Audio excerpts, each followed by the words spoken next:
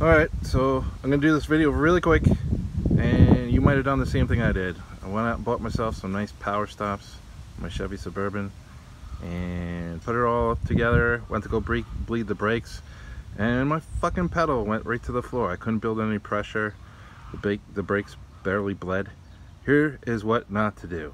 There are left and right calipers. You hear me? They are not the same.